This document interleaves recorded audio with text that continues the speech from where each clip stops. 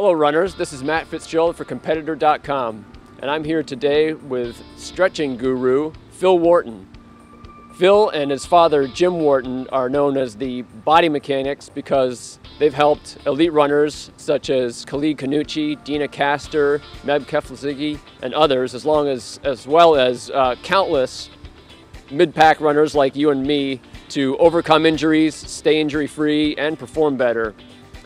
Now, when you think about stretching for runners, you probably think of bending over and touching your toes, but that's not really the type of method that you teach, is it, Phil? You know, it, that's right, Matt. You know, we've been confused out there, and there's so much research and information, but I'll kind of go through an overview of flexibility as we knew it before.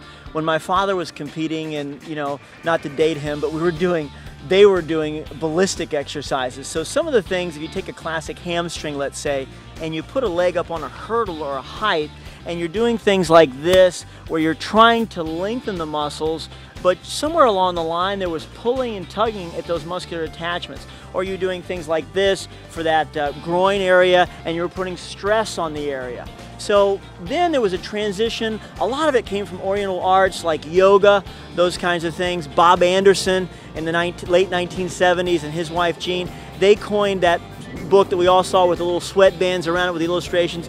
Fabulous stuff we knew, okay, we've got to do something a little bit more passively, less aggressive. So we went into what we call a static position. So classic static position here, we've all done it, leg up on something.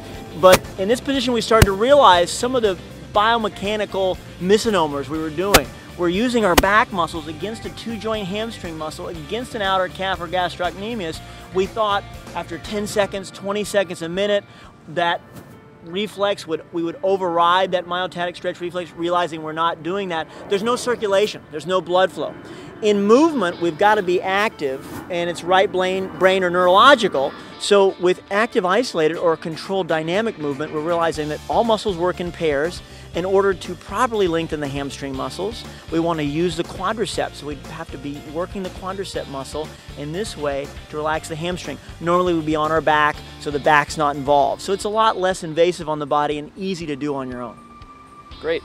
Now, there's been a lot of confusion and controversy even these days uh, among runners about whether you should be stretching before or after running, or maybe in the middle of a run, or even uh, there's some voices out there suggesting that runners shouldn't stretch at all. Uh, where do you stand on these issues?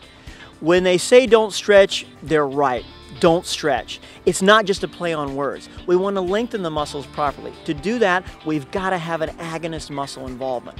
When all muscles are working together in pairs, like this analogy I gave, when the bicep is moving up, the tricep has to relax apply that theory of reciprocal innervation of one muscle doing their job, the other one lengthening, you're going to be in a safe zone. So in, with that being said, to do proper range of motion exercise before and after be optimum, not everybody has that kind of time. Not everybody's a pro athlete that has all day to do this kind of stuff.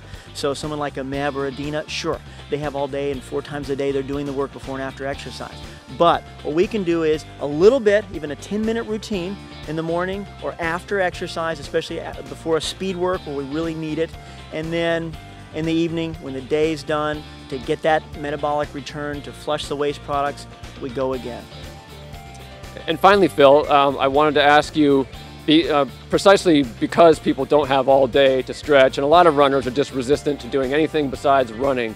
If I could ask you to just pick one problem area, one really important area for runners that's a classic area where they need to work on their flexibility and mobility, uh, what, what would that be? Matt, you know, I have to say the gluteal muscles because so many of us are using the wrong muscles to run, as you know. We're using our anterior muscles, the quad. We're dominant in the quad. We're not using our hamstring or glutes.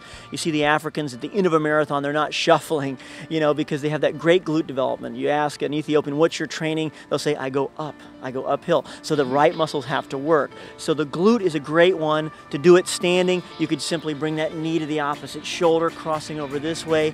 On your back, you'd be doing the same thing, but it's a little less invasive because you're controlled and you can bend the non-working leg if you have a back condition. So gluteals, hamstrings, posterior muscles. Think of your muscles behind you. Those are the ones propelling you forward.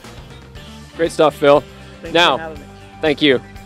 Now, if you want to find out more information about uh, Phil Wharton's clinics, DVDs, books, where he's going to be next, go to whartonperformance.com. That's W H A R T O N performance.com. And there's also another website you'll want to check out, whartonhealth.com.